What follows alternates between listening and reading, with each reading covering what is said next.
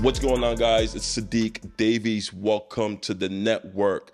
What most of you guys don't know is the network is a podcast where I sit down with individuals who are doing big things in their field or in their industry, who has a net worth of half a million dollars or more or a million dollars or more, right? These are individuals that understand the game and who's willing to share their share their knowledge, their expertise, and you know how they got to where they're at. But with their success comes with a lot of highs, a lot of lows, you know, and a lot of failures and a lot of and a lot of uh, success behind it all. So on this first episode of the network, right? This individual that I'm sitting down with. His name is Vincent Mann. Um, he owns Kai Lift Homes.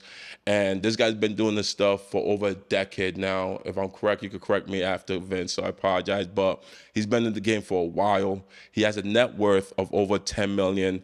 And uh, and just because you have a net, one thing I want to clarify with a lot of people, right, is because just just because you have a net worth of ten million dollars or a net worth of a million dollars or net worth of a billion dollars doesn't matter what that looks like doesn't necessarily mean that you have that cash physically in the bank all right?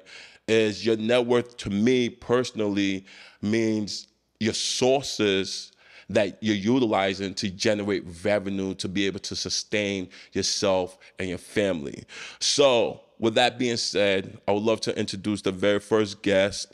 Um, Vincent Mann, this once again, this guy's a powerhouse in the industry. Welcome to the platform, the network. Let's go. Introduce yourself, Mr. Vin. Again, how you doing? Um, I'm Vincent Mann, uh, managing member of Kyle Tiff Investing Investments and Consulting, um, also Tiff Homes, um, and also Tulsa, Tulsa Capital Funding. Um, All right, cool. So what do what do you actually do within your company? So my company is a full service uh, real estate company, which um, does mostly developments, um, fix and flip. Uh, I have a general contracting division and also um, a loan uh, brokering division as well. All right, cool. So you've been in the game for quite some time. How long exactly? About 16 and a half years. Wow, that, that's a, that's a wow.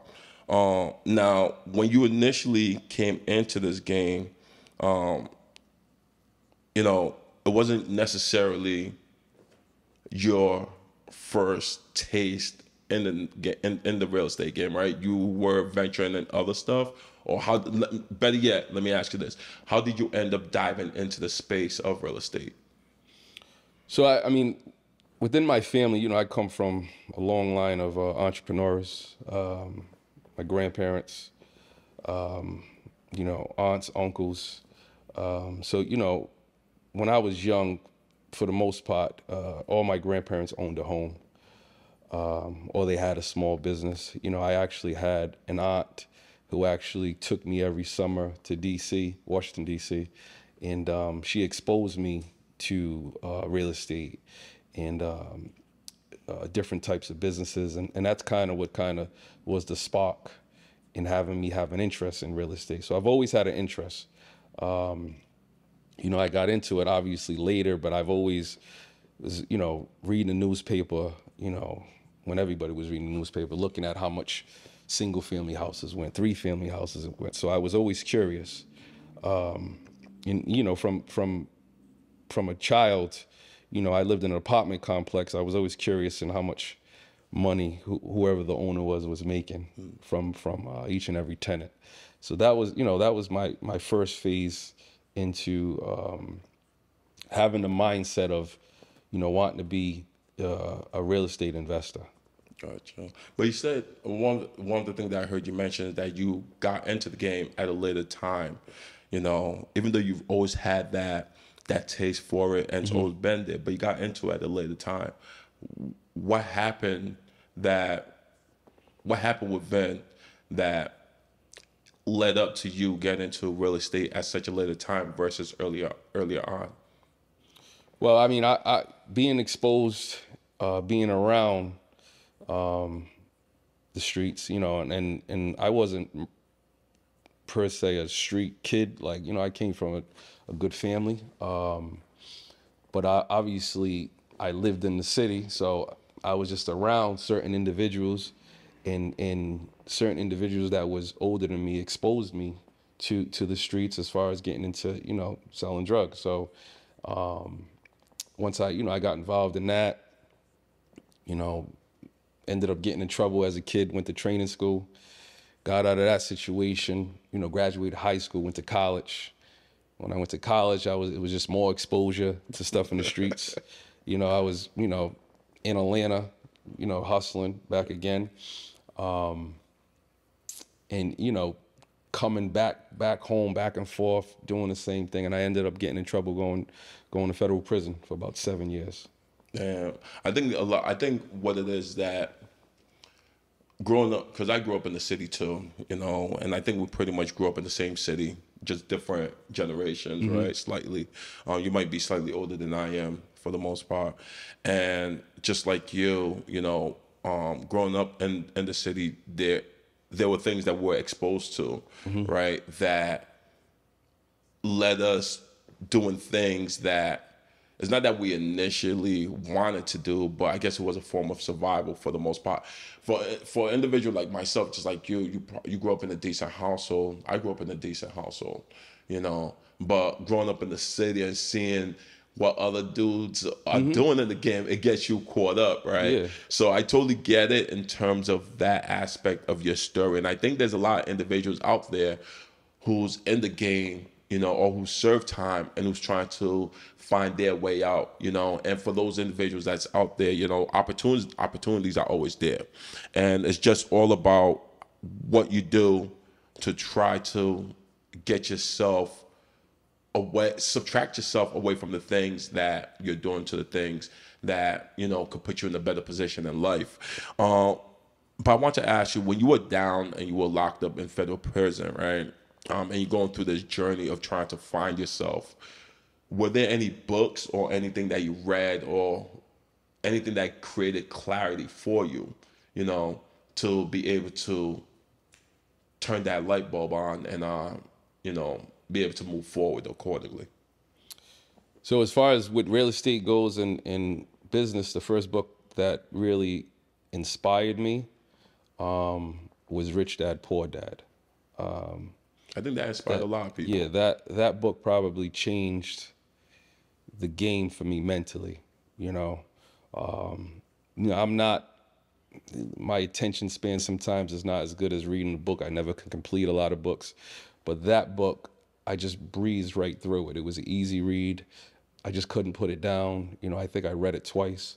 um, so that was the most influential book that I that I read. You know, there was other books I read. I read The Money Machine, which is another real estate um, book. Um, I think I, you know, The Art of the Deal. Mm-hmm. And then, you know, moving forward, I read numerous books. You yeah. know, um, The Richest Man in Babylon really, really changed book. my whole perspective as as as a you know older older man now. You get what I'm saying? So, um, so th- that's kind of like what really kind of changed. And I still read. I still listen to audiobooks. And I, I will say this: that's probably the most important thing is is reading. You know, because um, you know it opens your, opens your eyes to a lot of things that you don't really see without reading, basically. No facts. I think that even me, an individual like myself, when I was down, I did a lot. There was a lot of times where like when you're down, there's nothing else you could do but mm-hmm. read, you know? Yeah. If you have some type of artistic ability, you'll draw, yeah. you know? And for others, it's workout, right? Mm-hmm. So, so I, I, so I totally understand. Um, what was your day to day like when you were down for seven years? Uh, I, I, I would say, um, my day to day was a lot of conversations. Mm. Um, so in what know, sense? I would just talk to any and everybody that um, really would would would speak about something that I had interest in, and I've always had interest in business. You know, I, I always there's a story. You know, when I when I first went in um, I, I I went to first I went to like a low security, ended up being transferred to a minimum security, and when I first went, they had TV rooms. And I was going to TV room. They had a room with news. They had a room with sports. They had a room with um, finan- with financial channels like CNN or whatever channels it was back then, and it was just packed with a lot of people that looked like me. Wow. And at first, I was frustrated Why? Because I wanted to watch Rap City. you, you know what I'm saying? Like, I dig it. You get what I'm saying? Yeah. So I, I really was like, what are, what are they, what are, what are you watching the stock Yeah. market? I didn't understand it, you know? No, Um, just being honest with you, you know?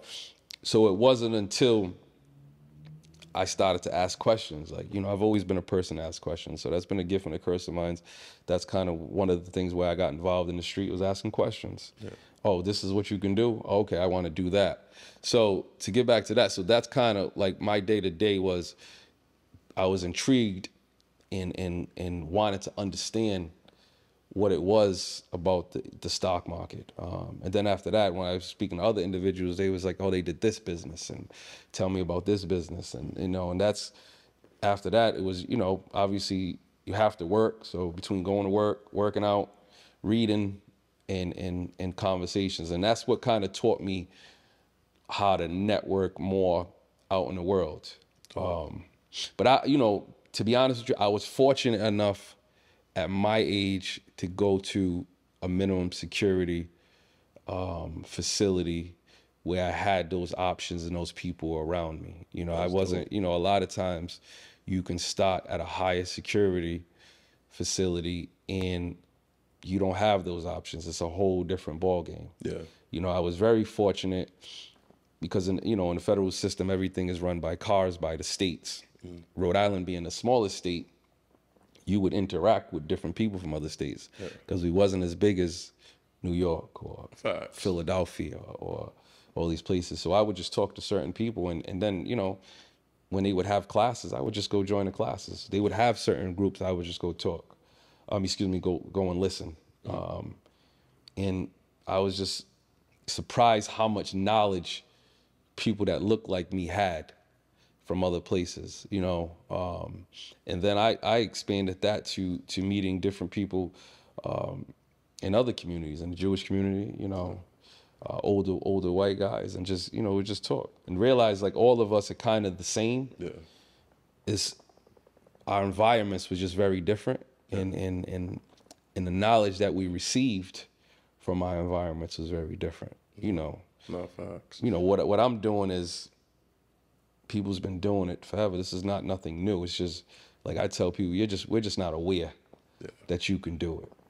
No, and I, I, I agree, and I think one of the one of the mo- uh, one of the things that I've realized uh, being incarcerated and uh, you know just being in the streets is that believe it or not, most people most people might look at people who grew up in the streets. They might look down on them, right? Mm-hmm. But believe it or not, there's some there are some smart smart dudes that run the street game. Absolutely. If they really took their knowledge, these dudes could really possibly run 500, 500 Fortune type companies. Yes. Right? Because they, um, especially when you're talking about dudes who are making in the millions and stuff like that, th- like,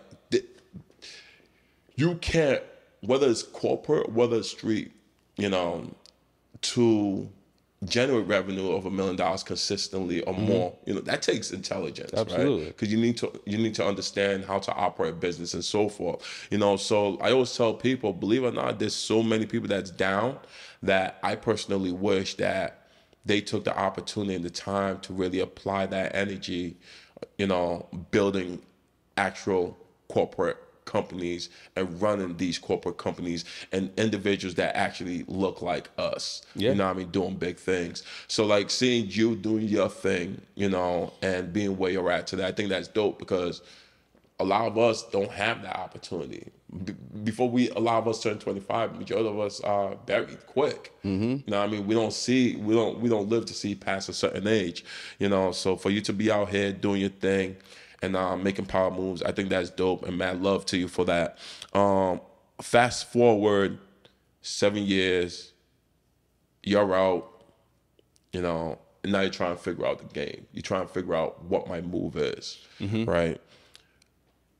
What was your first job that you got into? What was your first job that you did when it came to the real estate industry, or was you know? So what what what I've always been around older people. Always been I've been being mentored since I was 12 years old, one way or another. Um, so I've always was used to um, being around older people and listening to them. So you know when I was away, I, I didn't hang around people my age as much, um, just because I was always used to hanging with people older. So when I would talk to uh, different guys about what I wanted to do, because we would have investment groups, um, and we would talk about it. And and you know there was one dude who we would just always talk, and he and I would say what I want to do, and this is not how am I going to do it. And I remember every year they was making money on real estate, and this is when I'm reading in the newspaper. I would get the Providence Journal, reading the newspaper, can't believe this is happening. And he would be like, "It's still going to be there when you get there." So I was just like, "How am I going to really get my way, get my get in the door?" And what he explained to me is like, you got to get in something within the field to get into door. You know, so you know, first he was like, you know, you either got to be a real estate agent. Um, but once I looked into it at the time, if you had a record, you couldn't be a real estate agent. You have to be an appraiser, um, um, home inspection, mortgage broker, whatever it is. Just get in there, and once you get inside there, then it's going to open your doors to to to allow you to do what you want to do. So that was my plan. So when I came home, you know, my father actually told me, um, never called the guy. There was a guy here, his name was uh, Bernard Fullen. He actually said, You should go see Bernard Fullen and ask him for a job. So, I, you know, I, I did. He took a meeting. We sat down, we talked. You know, I said, I said, I give you a job, you know, it's commission based. Um, there's no salary, you know, what you what you bring in, you, you're gonna get paid for. Um, of which that was never a problem with me because even when I had jobs, like I've always done good with commission based jobs, whether you know the newspaper, whatever it is. That's just been something I was used to. I was within sales my whole life, um, and I understood that. You know, at, from an early age, I understood sales. So at the time, I was I would I went and asked my probation officer, and I said, "Listen, this is what I want to do." And he's like, "Well, you can't do that because it's commission based." He said, um, "You can do it, but you would have to go get another job that's going to pay your money." So I ended up. I had another friend um, that I, my best friend, who actually uh, set me up with his cousin, who was a manager at Stop and Shop, um, and he got me a job overnights. You know, because I, I wanted, I had to do something where it wouldn't affect my hours during the day. So you know, I stocked the shelves at Stop and Shop. You know, from eleven to seven, um, and then after that, I would go do mortgages from ten to whatever time I would have to do. Just Um, hustling. hustling. So within that, that's what introduced me to people in the real estate field. You know, that's how I got to know real estate agents, um, attorneys. From the attorney, that's when I met my first lender.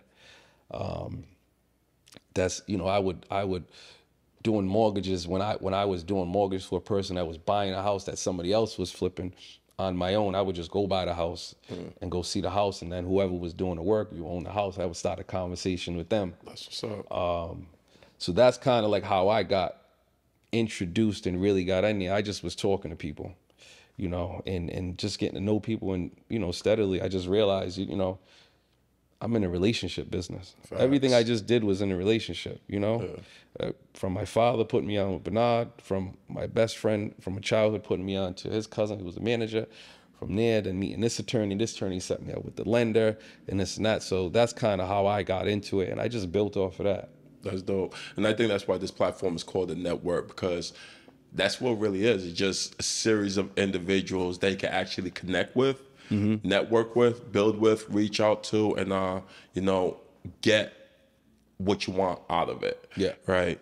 Um, what was your experience like as a loan officer during the financial crisis of 2008? How the hell did you manage that? Because I know that was crazy back then. So I think by the time 2008 came, so I was very green. I started doing it in 2006. Um, I was doing okay doing mortgages, which anybody could have did okay doing mortgages back then. So I kind of um, once 2008 happened, I was already doing flips. So while I was doing mortgages, I was actively doing flips. So, you know, I I, I bought a house when I first came home. I bought a house uh, with a stated loan. Um, then I ended up refinancing that house, took some money out, bought another house, flipped that. So my first flip, uh, I made fifty six thousand, um, and also got a buildable lot out of it. Wow, that's what's up. Um, ended up selling the buildable lot to Habitat of Humanity, um, and then it was just off and running. So it didn't. I was so green by time 2008 hit. It didn't affect me like it affected everybody else. I didn't have the lifestyle everybody else had. Gotcha. I was just really just getting on my feet. Gotcha. It was more or less because the money I was making in mortgages, um, you know, let's just say I made ten thousand in a month or seven thousand, whatever. There was people in the company making fifty thousand in a month. Jeez. So I didn't have the fifty thousand dollar lifestyle. Yeah. You get what I'm saying? So when 2008 hit, you know, I kind of was pretty good. I still had some stuff that I was obviously, you know, buried in with because obviously the value was tanked. Um, but but I seen I seen a vision down the line, and I seen more opportunities. Um, and you know, one individual that helped me see that opportunity, which who I'm, you know, still he still mentors me to this day, was he kind of told me, you know, this is where you really stop playing ball. You know, where everybody was just running from it, I was running towards it. Dope. You get what I'm saying? Because of him. I could have did like everybody else does. Everybody was scrambling to get jobs. They wasn't doing real estate. But, you know, when I when you have something that was selling for two hundred and fifty thousand and now it's selling for thirty thousand, you know, I, I don't you know, it's not rocket science. Yeah. You know what I'm saying? Now it, you had to wait a little while, but the stuff was so cheap. Yeah. I kind of was like, I have to uh, take advantage of this, and that was because of him. You know, he kind of told me to renegotiate. I had some private loans with some lenders. I had to renegotiate terms with them because if I got a loan with you for two hundred thousand, and today it's worth fifty thousand, we either got to negotiate these terms and we got to wait, or unfortunately, you can have it back. Mm-hmm. You know, so the integrity inside of me wanted me to keep paying the two hundred thousand. But once I learned what business was, like, you got to negotiate. Everybody's negotiating. I can't keep paying you on two hundred thousand or something that's worth fifty. Yeah. So we either got to ride this out together, which you got to bring my rate Down. from wherever it is down, and and we're gonna work this out until the market recovers. Or if you don't want to do that, you know, respectfully, I just got to say, here, you can take the property back. Um, so so so kind of like that's what 2008 taught me a lot of negotiation skills. Um, you know, with banks and lenders, obviously you had to do short sales. Um, and you know it wasn't easy but that was the market at the time you know? Yeah. so you know that's what kind of that's how i made it through. And then i just started flipping what i did have to keep. I was buying other stuff so much cheaper it kind of balanced everything out. Yeah. you know so i think my first three family i bought uh, i bought it for 219000 um that that that three family i don't think i ever got a short sale done and i believe yeah i did i did lose that one that thing sold on foreclosure for $10000 Get out of here. yeah Damn. It's interesting as you tell as you tell these stories, right? In terms of um going from being a home, being a loan originator, also known as a, uh mortgage officer, but in the midst of all that, tr- surviving, you're flipping homes, and within the 08 crisis, you you negotiate either with with a with a hard money lenders, right? At the time, either to keep the property or take your property back. You know what I mean? Did a, lot, uh, a couple questions. One, did a lot of the lenders that you're dealing with, did they take their property back, or were they willing to renegotiate with you? the one particular one that that i had most of the loans back took it back um of which you know he was he wasn't happy about it he was very upset Yeah, Um, but guess what we do business to this day that's dope. there's no lifelong you know enemies in business and there's no lifelong friends in business. Facts. You know, once you realize that it's just business. You know, so that's kind of th- th- that that was a challenge at first and it was stressful. Um, but once you you know once you make it through that and you realize like you know it's it's this is this is the hard truth. I can't I, I can't be the only one getting hurt in this going thing. through the going yeah, through the shit. yeah, Yeah, no, I get it. exactly. We- we're all we're all partners. Yeah. One way or another. I don't care if it's you and the bank, you and a private lender, you and your general contractor, you and your real estate agent. We're all partners. Yeah. If we get to a closing table as you as a real estate agent and something happens with the deal and you know you're making twenty thousand dollar commission and they want me to reduce a price, you know, I might say, listen, I need you to take two thousand off the commission so we can get this done. Uh, to me, in my opinion, a smart real estate agent, let's do it. Let's Yeah. let's go ahead and do it. Now, some of them will be like, no, well, the deal's not going to happen. No. You know, so it, the deal just blew up based on a lot of times it's pride and ego Mm. versus, you know, let's let's play fair and just make it work. Yeah. And we'll make it up on something else. Facts. You know, so that's that's that's just and that that goes into the relationship aspect of things as well. It's, um, one of the things that you mentioned, um, um, taking a few step back from your your conversation, that I wanted to ask you, but I didn't want to intrude because you would. I want you to share your story. You bought a property that had land on it. Mm-hmm. You caught. Uh, you sold the land and was called title. You say something about I sold it to Habitat of Humanity. you sold it to Habitat. All right, gotcha. I was I, I was like, all right, new term. What's this new term Yeah. down there? All right, cool. So you t- you sold it to um Hab- Habitat uh, Humanity. All right, cool. Was there a reason why, or were they just well want the, to buy? the the the attorney i was working with basically was already working with them all right, so the the the lender and the attorney so the lender would do he would do work for them on projects so habitat of humanity i, be- I believe it's a nonprofit and you know we on a saturday we would go help out you Gotcha. know paint or whatever they would get all free contractors to get it up and actually put a family inside the inside the home gotcha. um, so I, that that at that time that was that's how that became involved, but um, of which I did do it because I didn't know nothing about subdividing. Um, but once that happened, that's what kind of made me realize like when I buy a house, and if it has an extra lot, I could just build another house beside it. of course. Um, So, but that's how that came about. You know, I, I just didn't know. So at the time, it was like, all right, I'm gonna sell this house. I think I sold it for two hundred and twenty-five thousand or something like that, and they're gonna give me, I think they gave me like twenty-five thousand or something like that. 2015 or twenty-five thousand. Remember exactly. No, it was fifteen thousand. So it was just like, I'm making money. This is a gimme. You you get what I'm saying? So, um, that's kind of how that transpired on that particular deal. gotcha. And in in that particular deal, it, it was a blessing. It had to happen because that's what kept me in the game. You know, I had to have for me the person that person that I am. I had to have that success. yeah, You know, because that's what made me realize it's real.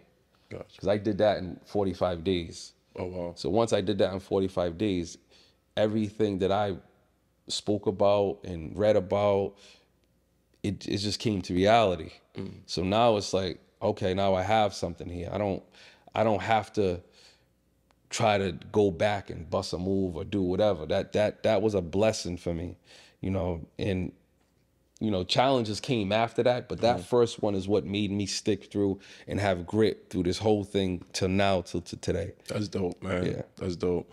Now, what actually transitioned you from being? The, the, there's so many pieces that I believe I understand that uh, that I think that led you from transition from a loan officer to a full time investor.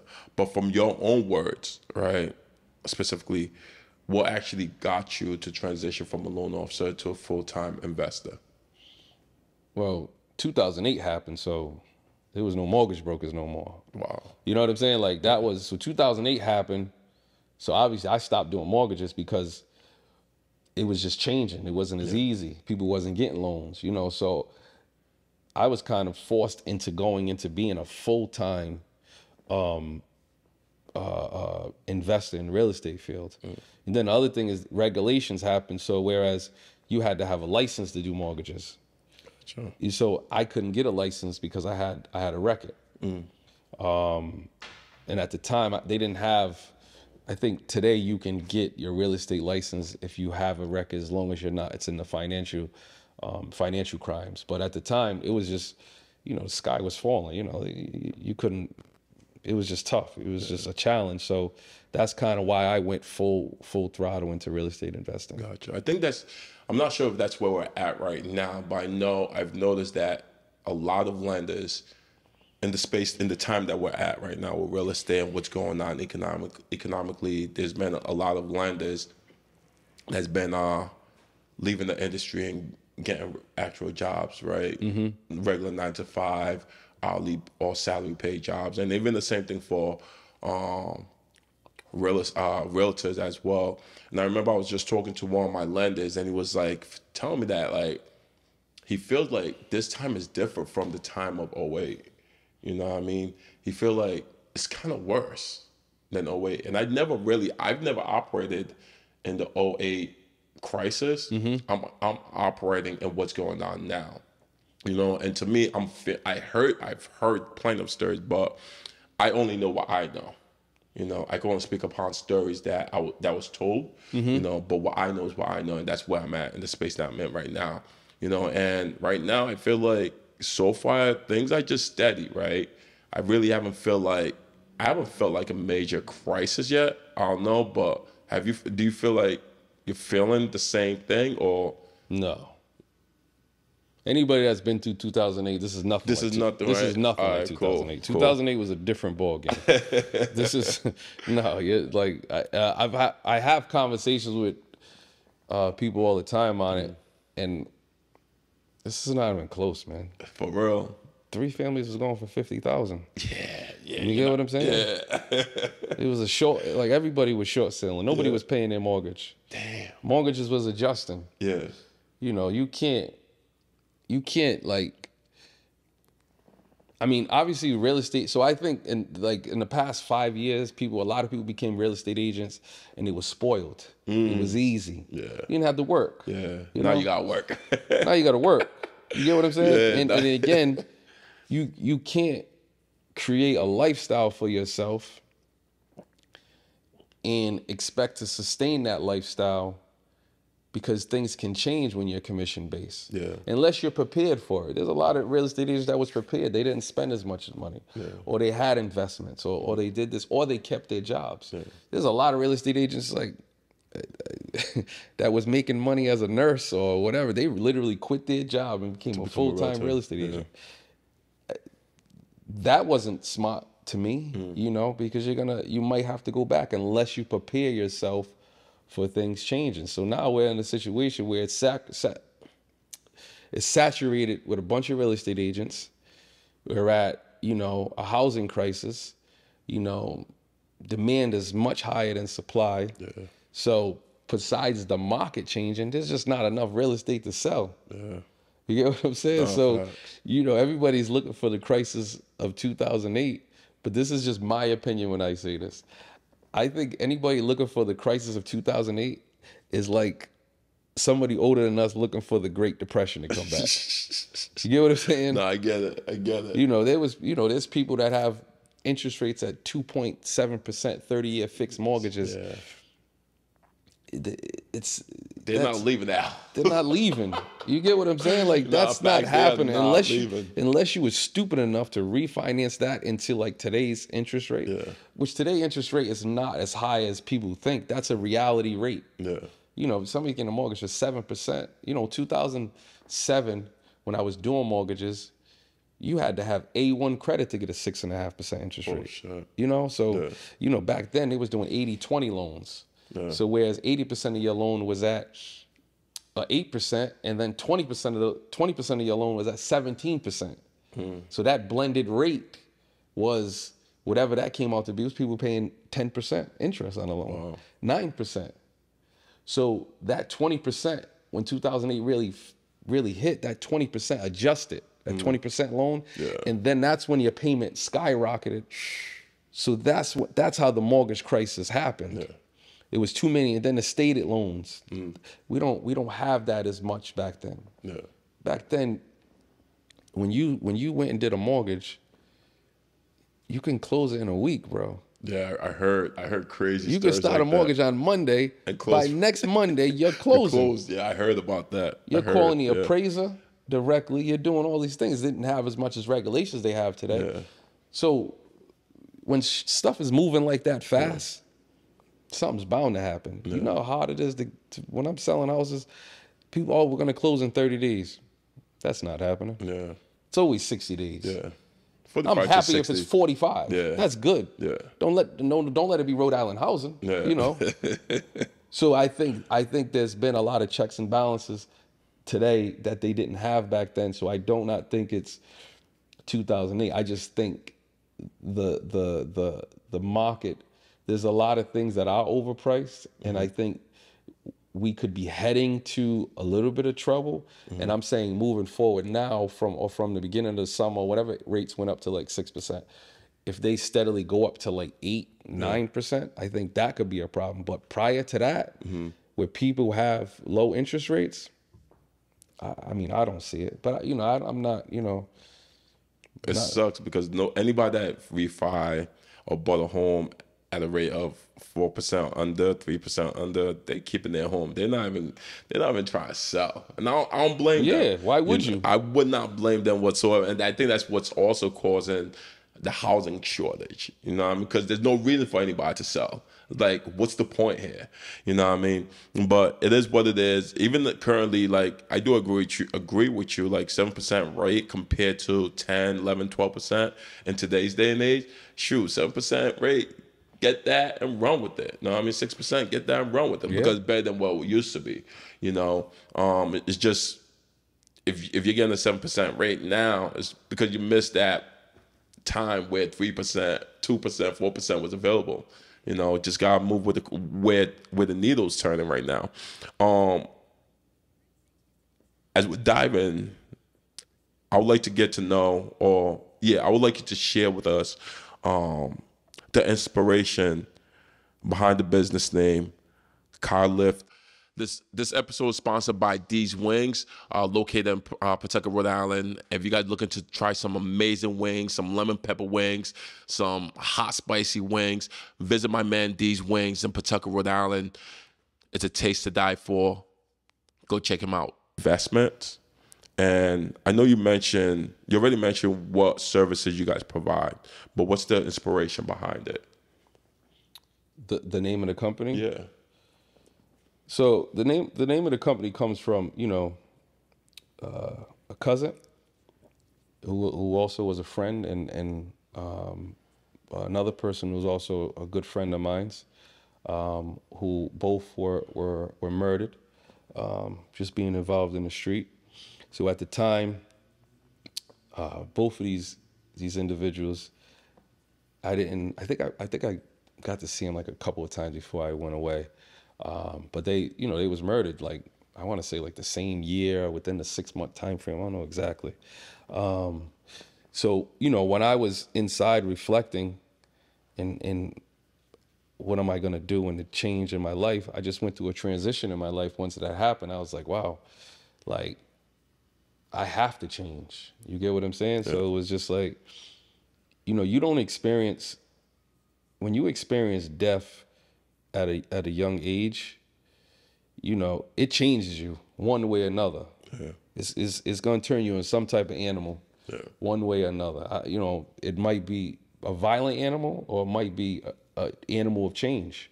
So for me, it was an animal of change, and it inspired me to change because I was around these individuals. You get what I'm mm. saying? Like in the mix. Like you know, one person, you know, they found him in the refrigerator.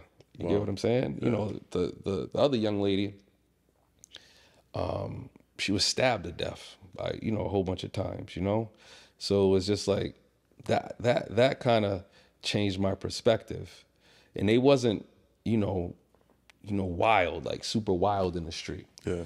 You know, I remember um, was it Kendrick Lamar's first album was called Good Kid, Mad City. So I, you know, I compared a lot of us as that. You know, we was, you know, we was just good kids, just regular kids. Obviously, we was doing mischievous stuff, but um, you know, once you know, once that happened, it kind of just like, man, I can't, I can't, you know, continue on doing this. I gotta, you know, it was one of those things. Man, I had a slogan, man, remember, love, and change. So I had to remember them, continue to love them, and I had to change. Dope. That was just for me. It wasn't for nobody else, and I took on a purpose because of that. Whereas I have to help people as much as I can who want to receive the help to change. So you know, one of their names was Kyle, and and and the other uh, other young lady, her name was Tiffany. So that's how Kyle Tiff kind of you know came together. That's dope. That's dope. How significant is how significant is mentorship in your pursuit of success in the real estate industry currently? I mean, mentor, mentor mentorship is probably the most important thing in anything. Um, I, you know, I don't sports, business, the streets, you know. So I would say that's the most important thing because mentorship a lot of times comes from people that's you know have already been established, been involved in things. You know, when I speak to somebody um, that's younger than me that want to be involved, I tell them all the time. I tell you about my failures, not my successes. You get what I'm saying? So that's so to to me is is is very important. Not everybody is prepared to have a mentor because a lot of people don't want to listen. But once you once you you find the right mentor that you still think is you know is cool and you can listen and you can hear them, that changes the game on everything, man. Facts. Facts. No, I agree with you. Um now in terms of your uh properties, your investments, I want to dive into sharing how you really acquired that first property mm-hmm. and how did you find funding to invest in that first property? So my first property I bought, which is which was a three family, I was reading the newspaper, in work release. Mm-hmm. He said um, work release. I was. Um, and I, I was just calling guys in the newspaper, to be honest with you. Um, for, for a lot of y'all, y'all youngins out there who don't know what newspaper is, it's actual paper. It's an actual paper that we used to read. It's not no phone, no moment, no gadget. It's an actual newspaper that we used to read back in the days. Mm-hmm. So, you know, I, I would read the newspaper, I would make calls. You know, I would I'd be taking the bus right downtown, back and forth to work. I'd be reading call reading reading reading, looking at this guy selling his house. And one I called one guy and he was like, I, I, I got this house on Althea Street. I, I want this price for it. Then I had it, and I went back um, and talked to another guy that was in there with me that was actually used to be a mortgage broker. He was in work release too. And he's the one who actually told me about the mortgage thing know, prior to my father telling me to go meet with the guy. Um, but nah, but he would just talk to me about it. I forget he was in there for something, something stupid. I don't remember exactly. So he's the one that told me about doing a stated loan and all that. So as soon as I got out, um, my cousin owned a sneaker store, and he said I worked for him, and I, I went and did a stated loan, and then I bought that as a owner occupant. gotcha. What's a stated loan for those who don't know? Basically, a stated loan is for a lot of people that's self-employed. Um, it was designed for uh, bartenders, waitresses, Gotcha. strippers, uh, stuff like that. People that didn't claim they was just getting tips and all this other stuff. Um, but Cash it kind of cash, yeah, people that was getting cash. So it kind of expanded to a lot of people working under the table. Gotcha. So, you know, um, I did a stated loan on that. Ended up like again, I bought that property. It was fully rented. I was collecting collecting the rents, and then I think six months down the line, I I did a cash out. From me doing that cash out, I found that flip that I told you, my 1st flip. Um, uh, I asked the attorney because that was another thing I learned when I was the, asking attorney for lenders. I asked the attorney. She hooked me up with a. Um, she introduced me to a guy named Keith. Keith went by the deal, like introduced myself to him. He's like, "I'll do it." He was excited, you know. Gave me all the money to buy it. I I used my money to do the construction.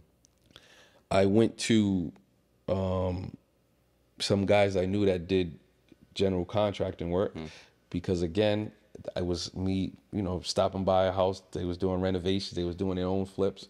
I remember I met them. It was two guys, Brian and Eddie. Um, asked them to renovate the house for me because I didn't have no contacts. Yeah.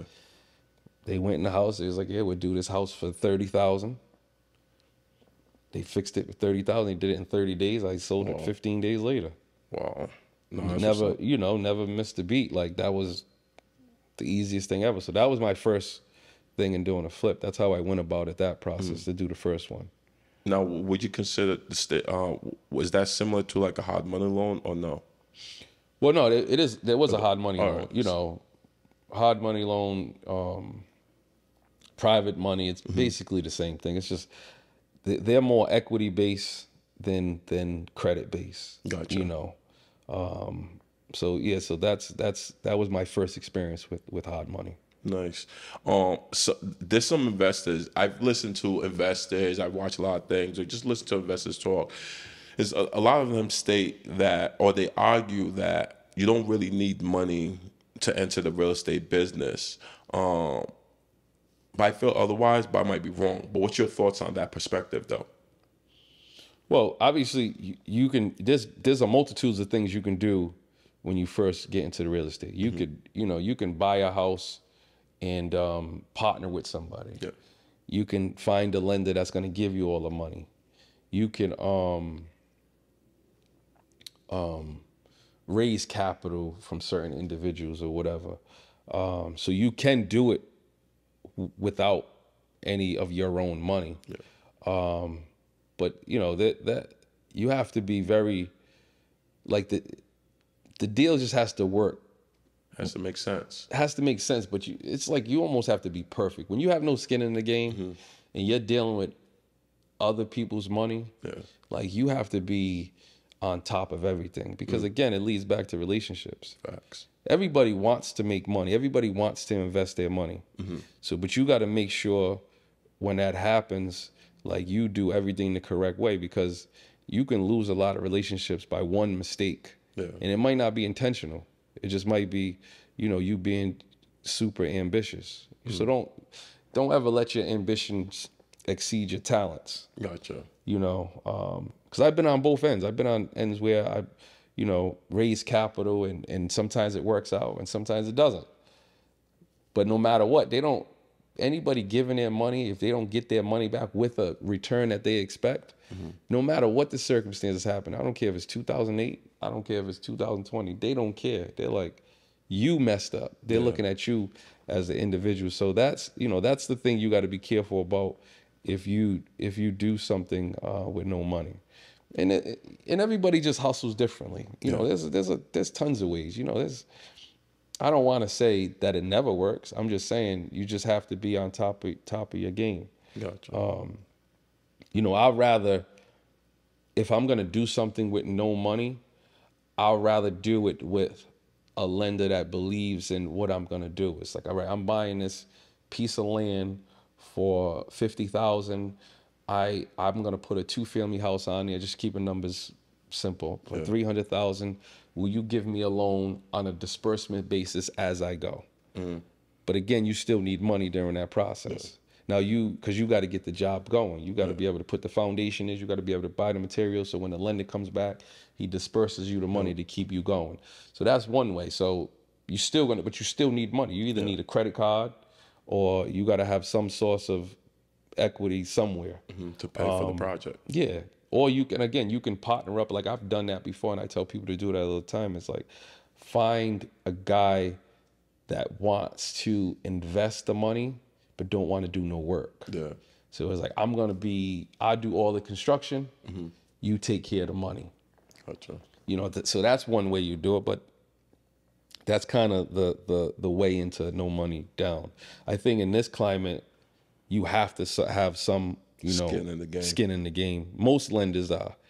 For the past two or three years, no, not really, because you know the market was crazy. You find the right deal. And, that- and, and that's go. another thing. You find the right deal, the money's gonna come. I will say that. I- you know, but it, it, if you people be you know tripping over each other to give you the money if the mm-hmm. deal's right. Yeah. So you know that's that's kind of my thought on you know getting into it with no money. But you got to have experience too. Mm-hmm. You can't just say you can't just it can't be somebody that works just never did a flip Yeah. and then wants to get into it and just no money down. Yeah. If you're a real estate agent and you know how it works, of course you can get involved. So it's all about who you put yourself around in and the relationships you have. No, So it kind of the question kind of leads to this. Yeah, you can't do this without no knowledge. But you can do can I do a deal right now? Can I go find a lender that's going to give me all the money cuz I you know I might be tight on cash and I can get in yes, but I have a I have a reputation behind it. Mm. So that's kind of my equity, you know, that's my money. I think that's where I fell Yeah. Into place when I did my mm. first flip. Flip. It was more so like I had a reputation, but I also surrounded myself with people that um were doing was doing things. So I actually watched people from a distance. Yeah. But asked questions. But at the same time, people knew like they know like all right, when Sadiq is about his business, he's about his business. Yes. You know. So I totally understand what you're saying in terms of that. I, the one thing, key thing that caught my attention, the one quote that you, that you mentioned that I thought was dope, is that you say, "Don't let your ambition um, exceed your skills." Mm-hmm. And I think that that quote is dope right there because some of us could, could be uh too ambitious. Sometimes I could be too ambitious at times. All of us. You know what I mean? Yeah. like we just all a lot of us have dreams, and like I've never heard it stated like that before. And I think that's just the way you just laid that out like that. I think that was dope. Um, That was from a movie one movie, and I was and I was locked up with him too. one movie. That was from um, Johnny Depp played the movie. What was the what was the guy's name? I just caught a blank. Uh, Jung was his last name. Oh, uh, blow, Blow. blow. Yeah, That's where movie. that's where I got that movie because I seen the real guy in my face in the flesh. yeah, Yeah. So it's once he said it, it made perfect sense. You know, so that's kind of like I didn't make that up, but once I heard that, that kind of stuck with me. Mm. Um, don't don't let your ambition exceed your talents, which we all, dope. especially when you're young. I don't care who you are, you're gonna be guilty of it. You're gonna have larceny thinking, where you just think about money, money, money, and don't think about the tasks that bring the money. Because if you Mm. focus on the task, the money comes. It has to come. yeah. You get what I'm saying? No, definitely. so No, I definitely, definitely get it. Uh, question: What is your current net worth of ten million consist of? Well, I mean, again, when we, we talk about net worth, we said in the beginning, like that can fluctuate at any moment. But for the most part, all my net worth consider consist of all my real estate holdings um, within uh, numerous companies that I'm part of. Kyle Tiff being just me, but I also have, um, you know, about five other companies. I have companies with, uh, you know, multiple partners. I have companies with another partner, you know, so that's just to consist of all my real estate holdings and also a lot of the developments I have that I'm actually working on as well. How, how long did it take you to build such a powerful portfolio, and what steps can someone who's looking to tap into this um, take to get there as well? Well, you you got to have grit. You got to have, you know, no quit in you at all. You know, because this is this is this this and and I think all business, not just the real estate industry, I think you're going to be tested. You know, I, I tell people all the time, success comes, true success comes after a test. Mm-hmm. Nothing just happens. And even if it did just happen, eventually you're going to be tested. So I just think those are the key things you got to have. You got to have, like I tell people all the time, I'm too stupid to quit. Mm. You know, it's just not who I am. And I'm going I'm going to just grind and have all the grit in the world to keep going. And I only, you know, I'm going to keep learning. You only know what you know. Facts. You know, I'm not the, the smartest dude in the book. You know, some people can talk to me and I could be literally be in a room and be like, "What? You got to explain this to me like in layman terms because I don't know what you're talking about." Yeah. And I and I'm humble enough and I'm okay with saying that. I don't. I'm not fearful. Like they're not going to know that I don't know what this word means Yeah. or whatever or what this term financial term means. I don't care about that. Explain it to me. Yeah. So um, you you I think that that's the key, and you, you got to be. You got to have that ambition as well too. As much as I just said, don't let it exceed your talent, but you got to have ambition, and for the most part, you got to believe, man. Yeah. You gotta believe in yourself. as as a I think I read a book was it as a man thinketh, you know, you you gotta believe like if you really think um, you're gonna have one of these skyscrapers downtown, you gotta believe it. Yeah. You gotta believe it. There's no there's no questioning. it. Like I didn't work today. Let's get up. Let's do it again. Yeah. You know, because I I've learned that when I was younger in the streets. I've never seen nobody ever, with the exception of going to jail or something. Yeah. I've never seen nobody ever quit in the street. Like if, the work wasn't right, they went and got some more work. Yeah. You get what I'm saying? Like facts. you know that work has to continue. yeah, they, they're going to. So I wasn't around people that quit. As I've seen more people quit when they try to come to the um, other side of legit world than anything. But like nobody quits in, in the street, you know. Even if even if it's a, you know, a regular fist fight. A lot of times, man, I, I've seen people fight somebody fifteen times and get beat up fourteen. Yeah. You get what I'm saying? So, but they just just how you was raised. Yeah. So I take that same attitude and just keep going and keep moving, you know, and in, in my life overall. Um, so I, you know, that's kind of what I would say is the most important thing. Just to keep showing up, man. Just keep moving and keep showing up. Um, can you share some of your can you share some details about the current projects you're involved in? Um, and what are your ongoing strategies and plans to expand on your real estate portfolio moving forward into the future? So currently, I'm I'm completing a 28 unit development. Um, um, I'm working on about between stuff that I own and stuff that uh, my contracting company is working on. I'm working on probably about you know 20 projects right now. Um, I have a development that I just got approved for 16 units. I'm waiting for final approval. That was preliminary approval, and then I'm also working on um, another 42 units, possibly Wow. getting that approved. So Congratulations on that, man. That's what's up, man. This is like, d- I would love to get to that level of uh, investments and building uh, on on a massive portfolio to that level. And a lot of that takes years to even do. And you've been in the game for quite some time, uh, just doing this. And most people think that's an overnight success. Like, nah, man. Real estate is like a straight grind, a straight hustle, and that shit ain't no overnight success by any means necessary. You know, um, when someone earns money from their first real estate investment, should they reinvest that money into another transaction immediately, or what? What do you think they should do with that money? Well, so it, it's, it's it's two things. So I, I I've learned the hard way as far as that goes. So if you just if you're in the flip business and that's all you do is flip, right? A lot of times, like for me, from my experiences, there's been times like I would flip houses, uh, but that would be my only income source. Then the money I made, I either had to catch up on my bills. So then, like I would, I so I catch up on my bills, and I take the money that I originally reinvested, then I go do it again. But then I'm catching up on my bills. So now it became a paycheck to paycheck, flip Yeah. to flip. But I, I will say this: if you could have different sources of income while you're flipping, while you're flipping, I don't, you know, whether if you have a full time career, um, you have rentals and stuff like that. When you do flip a house and you make some money, that just becomes your true investment. So now you can just double down on something else, you know, to continue on working on that you know, that that money.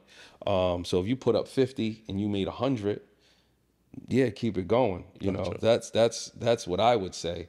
But it's not. Don't don't have it where it's like I I made a hundred. Let me go buy this or buy that, which we all do. Um, but you got to be careful of it. So absolutely, you got. I'm all about stepping up. I- you know, I'm all about like if, if I'm if I'm building, and that's one reason like I I'm doing 28 units. Now it's like I I I have to do more than that, you know. Um, but that's just my position. Everybody else's position could be different, but that's what I believe. That you got to keep stepping up and challenging yourself to do bigger things in order to survive for the long term. Gotcha. Now here's a here's an important question for me, right? Is it advisable for individuals to be concerned when it comes to over leveraging themselves in the real estate industry? Absolutely. You could you you again if you don't have those other sources of income, Yeah. Um, you can over leverage yourself because now when you try to expand, if things don't go like perfect, Yeah. you can get stuck with stuff. So now, like if I'm doing three flips, just mm-hmm. example is, and they're not all done where I can sell them right away, or one ain't selling, but you're working on it, you're gonna get strapped for cash. Mm-hmm. But if you have other things that you're working on that make you money, it's not. It takes off a, a big burden where you don't over leverage yourself as much because at least you know, all right, this can take care of this, or this can pay for this. So like for me, my, you know, my rentals pay for my lifestyle. My um, general contracting is is the oil for the machine for the company, which allows me to buy more flips, which the flips allow me to buy more rentals. Interesting. You get what I'm saying? So- that's your business model right there. Yeah, I just I just go full circle with it Wow. because I, I needed something that can give me cash flow. That's another thing. If you have no cash flow, you know, you could you can find yourself in a tough, tough position. Mm-hmm. I mean, unless, you know, there's certain guys that can do one flip at a time and they kind of can keep it going. But mm-hmm. for the most part, if you're making this, if you're in a real estate business, my I believe you gotta have you gotta wear many hats within real estate. Nah, I truly, I realized that dude. You know, so I realized that, man. I'm like, sheesh. It's, like, I didn't realize, like, when I first came into the industry, like, as a realtor, I just thought realtor, being a realtor is what it is, right? But then, if you want, if you want to go far in this career, you really have to understand real estate on a massive level. Mm-hmm. You know, on a macro level versus the micro level. Yeah. Because if you don't understand real estate on a macro level, it's like, all right, how do you really um, leverage the opportunity to actually succeed in the game of real estate? You know what I mean? So wearing many hats and understanding different aspects. Obviously, you're not going to do everything in the real estate game, but just understanding as many unique parts of the real estate industry that you can actually maybe do is going to be a key. I feel like it might be a key, uh, key factor in surviving the game yes. you know. But that's just me personally, and I actually like how you hit down the money because you do have to wear many hats if you're trying to su- survive in this industry and go from there. Um, what are the three? Cons- what are three considerations, right, that aspiring investors should be aware of when um, embarking on the on this real estate journey of this? Do you think? Re- rephrase that again. Sorry. What are three key considerations that aspiring investors should be aware of when embarking on a real estate project? Um, be having patience. You definitely need patience. Um, and it goes back to the cash flow, and just don't don't count your money as you're doing something. You get what I'm mm. saying? Don't. A lot of times, everybody focuses on what they make, what they're gonna make mm. during the whole process, which makes you miss again miss certain things because you're you're focused on just money, money, money, and you're not focused on your project. Gotcha. But when you focus on your project, it allows you to see everything that that is not right and to get it right. And then you just let the money fall in its place. You know, you make your money off your purchase, not your not not when you sell it. So the the due diligence you do in the beginning is gonna help you in the end. So then you're just like, all right, I'm not even gonna worry about that. And then a lot of times it's I, I I look at margins, you know, what is the return on what I'm putting up? You know, if I'm if I'm putting up, you know, overall with my payments, my closing costs, my construction, if I put up a total of forty thousand, right, and I go through the whole process and pay my thing and it sells, and I walk out the closing with my forty and my tw- and twenty thousand. I made a fifty percent return on my money. Mm. There'll be a lot of people that complain, "Oh, I did all that for twenty thousand. Nah, you made fifty percent return on your money. You mm. know, so that's that's kind of how I and I don't I don't I don't I try not to have expectations of of um of the the end result all the time because that's when you get disappointed. Gotcha. A lot of people was making, you know, 100,000, 150,000. I've had conversations with people, I'm not doing nothing less than forty thousand. I'm like, why not? I hear a lot of people. I hear certain investors who talk like that. Who say Yeah. like, "Nah, if I'm not making a certain amount, I'm not taking the project." Do you, Do you think that's wise? In my opinion, it ain't. But I mean, everybody else. But again, it depends on you know what you're doing, what, what else you're doing. You get what I'm saying? Yeah. If my money's working for me, I want my money continue on working. I don't Yeah. care. As long as I ain't lose. Yeah. If I got my money back and some money back on top of my money, I'm happy because I'm just gonna do it again. Facts. You know what I'm saying? I'm trying to do, and I haven't done it, but I've always my goal has always been 52 flips in 52 weeks. Sheesh. get what I'm- 52 flips in 52 weeks. Yeah, one way or another. Damn. Wholesaling, um, fix and flip, you know, whatever way I got to new construction. If I could do 52 of them, Mm-hmm. if 10 of them I lose, I still win. Yeah. You know, I'm for me, business is almost like a sport. You know what I'm saying? Like, and and the thing about real estate, as you get older, you get smarter. Mm-hmm. You know, when you play a sport, as you get older, you get you get weaker, you get slower. Yeah. We get smarter. Yeah. Because we're learning through the experiences. Exactly. So you know, I, I'm playing for the end of the the end of the season. And There's gonna be some years you don't make the playoffs. Some years you do make the playoffs. There's gonna be a couple years you win the championship. So as long as I keep making the playoffs and I keep making money, mm-hmm. I don't concern myself. I look at it as a, as a whole, macro rather than micro. Certain deals are not gonna have as much as meat on the bone as the other one. Yeah. You know, so that's just that's just me. That's how I look at things. Other people look at things differently. Um, and and and and again, everybody hustles differently. Everybody does business differently. There's certain things that work for you that's not going to work for me. Yep. You know, when I do if I do a flip, I've had to learn over years. I'm not good at lipstick. Mm. I'm good at complete yeah. gutting it and getting it done right because every time it happens to me, it's like, oh, home inspection. I'm getting tore up, and I'm just now I'm sitting there pissed. Like, damn. So now to avoid that, listen, I'm just gonna rewire the house. I'm doing this. I'm doing that. I don't want to hear nothing that's brand new. But I know guys that are like, you know, I've had guys ask me for advice and tell me, I'd be like, listen, you're good at what you do. Yeah. Do what you do. Yeah. Because what I would do, it's not gonna make sense for you. And that's how they made money. But they're good at that. They know I, I like I know um I know uh it's a mutual friend of ours wife, right? Wife without saying her name, right? I think she's the dopest lipstick flipper. like I've seen her do stuff with kitchen cabinets and paint a different color and change the hardware and this and that and paint this color and or you you shouldn't have to take out that. I would like I would have never thought about that. You get what I'm saying? Yeah. And that works. That works for her. Yeah. You know. But so so like going back, so everybody works differently. Yeah. You know. So that that's that's how I how I look at things. You know, we all can can can make money in different ways of doing it. Nah, But facts. it's, it's again, it just it's simple, man. You just got to show up, Nah, that's true. keep showing up, And keep doing it. keep doing it. How does Vincent McMahon? I feel like your name almost sounds like a wrestler's name. Yeah, everybody says that. He How, is. how does Vincent McMahon um, define success in his own terms?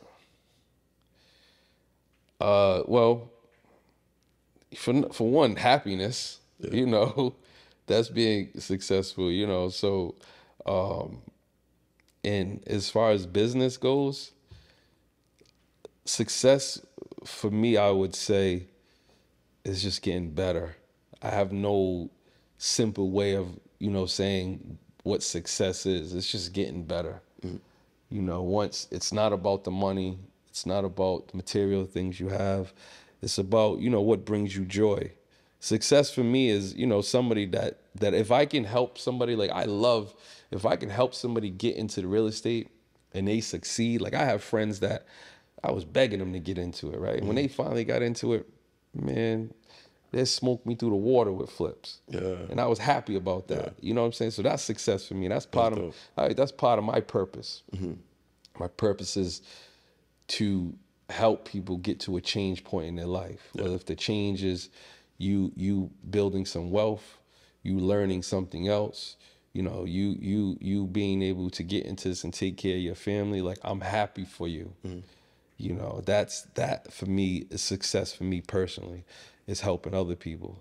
You know, it's not all about money, but you know, there's an old saying, man, you want to make money, you got to help somebody else make money. Facts. You know, Yeah. comes right back to you. So that's that's my version of success. That's amazing. You guys hear from you guys hear the man himself, Vincent Mann. Vincent, if anybody need to reach out to you or, or connect with you, what's the best way they could do that? Well, obviously they can hit me up on Instagram, which is uh, Kyle Tiff Holmes. Um, my email address is uh, vman at kyletiff.com. So that's V as in Vincent, M A N N, at K Y L T I F F dot com. Um, so those are the best ways to get in touch with me. Amazing. And you guys know who it is. It's your boy Sadiq. Sadiq Davies at that. Um, if you guys looking to follow me, follow me, follow me on my Instagram, Sadiq Davies, S A D I Q D A V I E S. And also you can follow thenetwrk.co. That's T H E N E T W R K dot co, meaning community, you know, because that's what The Netwrk's all about. It's a community of individuals that's doing great stuff and who's looking to share knowledge and their expertise and also their highs, their lows, their success and their failures. You know, follow me. Let's go.